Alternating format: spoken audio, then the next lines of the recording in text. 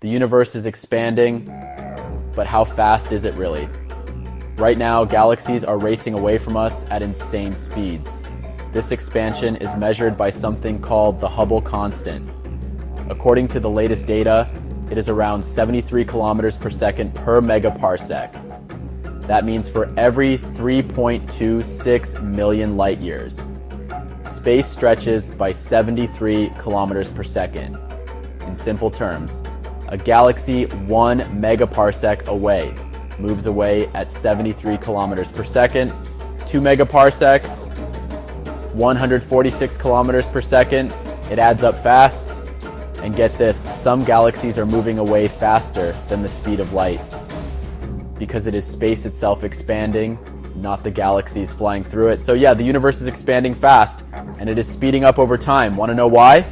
Subscribe and I will explain dark energy next.